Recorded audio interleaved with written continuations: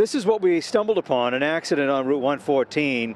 Uh, an SUV had flipped over about 1 o'clock this afternoon. Uh, the driver transported with minor injuries to the hospital, we're told.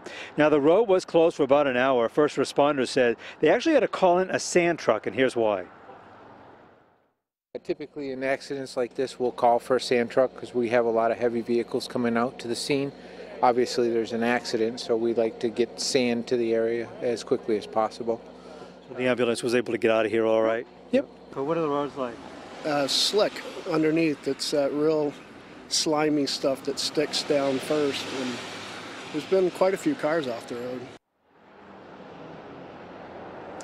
All right, so we're back here live along 302. You can see the snow is gone on the road, uh, but those side roads you might want to take it slow because it could be still slick in the evening hours here. We're live in Windham. Jim Keithley, WMTW News 8.